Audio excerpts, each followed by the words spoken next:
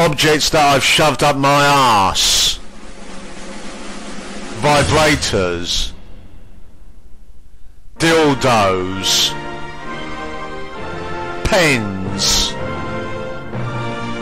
Pencils. Coins.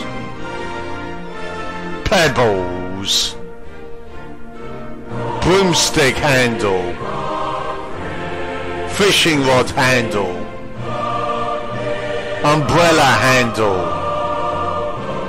Toothbrush handle. Hockey stick handle. Fingers. Small glass jar.